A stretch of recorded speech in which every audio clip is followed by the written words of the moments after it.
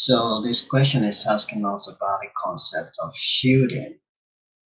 So when we talk about shielding, the meaning is just, you know, the same thing as the lexical meaning, which means to protect or shield something, you know, you, you're covering something. So the same thing also applies in the atomic level. And uh, in this case, we have uh, the shielding done by the, the electrons in the shell. So how do we describe this? If you remember the basic description of an atom, an atom has the nucleus containing proton and neutron. And like we know that the proton is positively charged and the neutron is uh, has a charge of zero.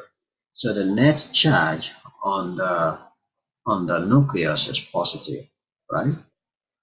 So you have the nucleus that is positively charged. Draw this this way.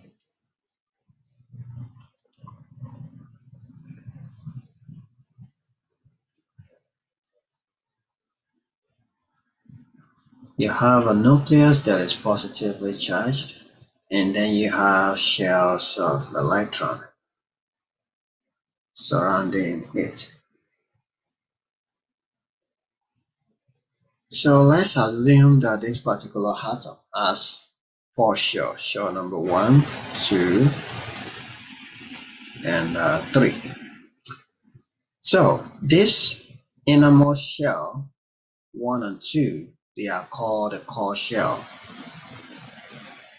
One and two are called the core shell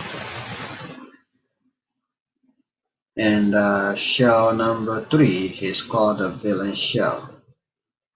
So the core shell are the one uh, in between or the inner shell and the valence shell is the last shell. So what happened? The core shell shield the electron in the valence shell and when we talk about shielding, it's shielding the effective nuclear charge, which is positive, from being experienced by the electron in the third shell. Likewise, the electrons in the first shell are shielding the electrons in the second shell.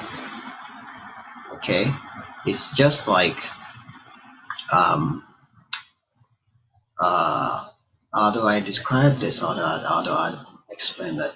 You have a, a hot, uh, you have a hot stone. The stone is very hot. And when something is hot, it radiates heat.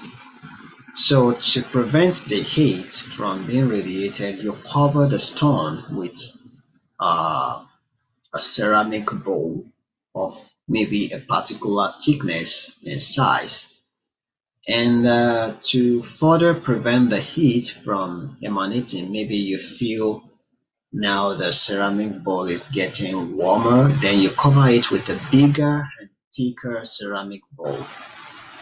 So you're just preventing the heat from spreading. So just exactly the same thing is happening here. You have a nucleus with positive charge so the positive charge is producing an effective nuclear charge whose function is just to attract the negatively charged electron in the shell to itself.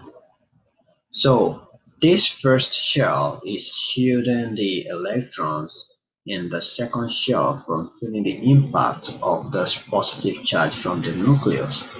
And then the second shell and the first shell are shielding the electrons in the third shell from the impact of the positive charge from the nucleus. So the core electron basically shields more. It does the more shielding.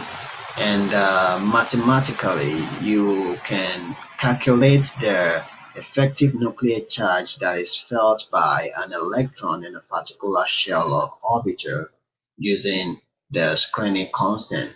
And uh, from experience, I think the screening constant for electron in the first shell is like 1.0. For that from second shell, it's like um, think it's like 0 0.5, 0 0.85, and so on and so forth. So you observe that as you as you go out further from the nucleus, the screening constant is decreasing. And likewise, the same way, the effective nuclear charge also decreases with the distance you travel away from the nucleus. So the core shell shows small.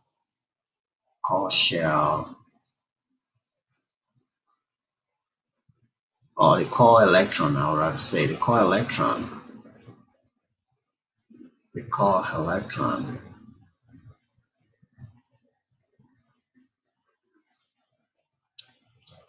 core electron shields more. And do not forget, the core electron are contained in the core shell and uh, valence electron are contained in the valence shell.